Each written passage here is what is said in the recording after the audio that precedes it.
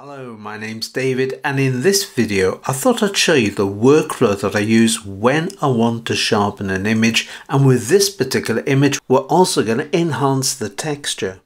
But there's a problem. You cannot sharpen a soft image, but more on that just a little bit later. Now the first thing I always do is open up my snapshots panel. If you go down to add snapshot, it's now going to ask for a name. Going to call this uh, something very simple, which is finished.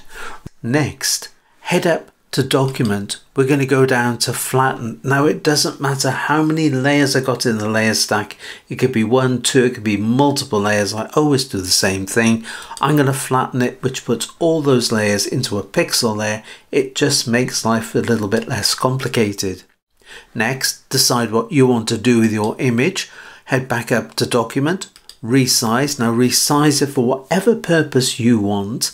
I'm going to keep this as a very large print just so we can see it in the video. So heading down to inches, you can see there's the size in inches, there's the height in inches, showing it here 300 dpi if you're using this for email if you're using it for a website keep it at 300 dpi as well. That really doesn't matter.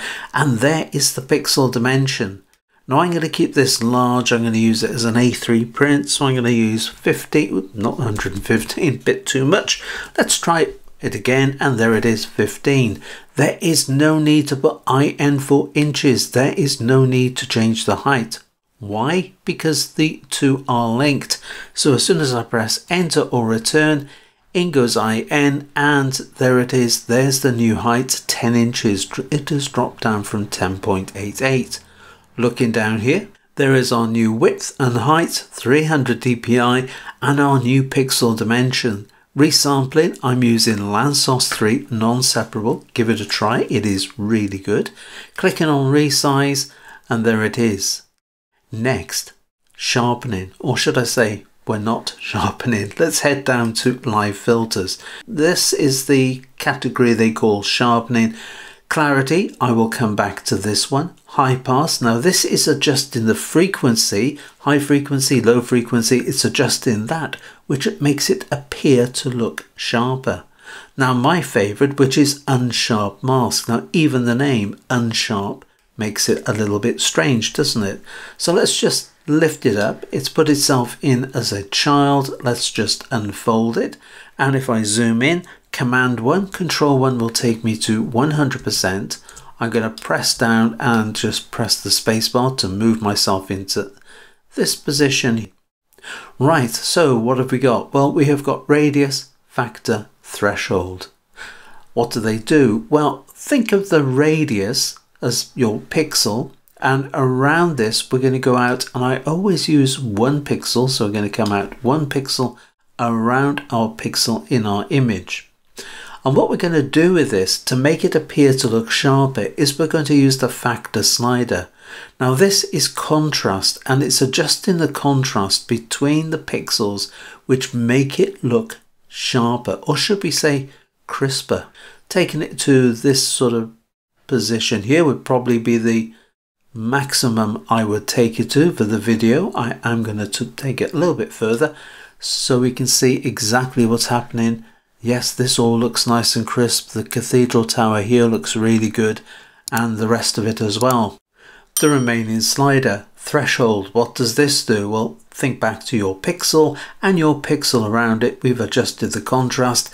This is now going to feather between those two pixels and feathering as you start to take it up you'll notice the image turning soft again. You can take it all the way there. It is useful it could be useful should i say on some portraits. The times i've used this i could count on probably one finger. So i'm going to leave it parked on 0% let's click the little red button to accept it. There it is job done Command 0, Control 0 will take us to fit on screen. Now we have sharpened, or should I say, we've adjusted the contrast and made it look sharp for every single pixel from top to bottom, from side to side. Not what you want to do with some images. In fact, I rarely sharpen the entire picture. So next is make sure under colors, you've got the default colors. If you've got any other color, press D on the keyboard. Head over to the toolbox pick up your paintbrush. With the brushes, I'm just going to click on my brush panel. I'm going to scroll down. I'm on the basic brushes. Let's go down to the soft brushes, round soft, 120 pixels. That will do nicely. A little bit small, so I'm going to use the right hand square bracket. Let's take it up in size. Now, in with this is a mask. You can't see it, it's hidden. If I press X on the keyboard, that's going to put black as the foreground color. Let's take a look. There it is. And if I bring my brush over that sharpened area of water, you can see it becoming softer. So let's click down, let's go over that. You can see the mask has appeared. That is the line I've put in. So we can be a little bit selective in what we want sharp in our image, or should I say crisper in an image. I keep saying that word and we shouldn't use it. Right, just come in over this area here. Now sometimes you might want to make it just a little bit uh, crisper and if you go up to opacity this is where you can control it. For example if you want to make it half as sharp just press sorry crisp press 5 on the keyboard we can now come over this area of the water just let me come over these light reflections here and I'll show you how this looks in just a moment and there it is so we've taken that down to half a sharp or 50%. Right, let's go to the mask. You can bring the mask forward, so press and hold down Alt on a PC, Option on a Mac. Now click on the mask. There it is. Black, this is 100%. The grey, this is 50%. So you can see the difference. If you were to go over it again, you can see we've now taken that to 100% because it's 50 times 2. I can work that one out. Right, clicking back on the mask, pressing Alt or Option, back it goes. If I just switch it off and on, there's the difference it makes to the image. Looks really good, doesn't it? But there's something else we can do. And if you've got a landscape, if you've got anything with texture in it at all, give this one a try. It's amazing. Head back down to live filters, scroll down, go back to the sharpening. The other one I mentioned was clarity clicking on this, it puts it on its own layer, which is fine. Let's just lift it up. Okay, what do we got here? Well, we got one slider, strength. That's all we've got. Why is this under sharpening? Well, if I take it back this way, it can make it look a little bit softer. If I take it to the right, look what this does to the image, taking it all the way over to 100%. That does a fantastic job. Look at that. That is quite amazing. I can switch off the unsharp mask and I can switch this one on. You can see it does a really good job on the foreground but overall I think the two work better together. Right, with the exception of the sky. Let's dive in. Command 1, Control 1.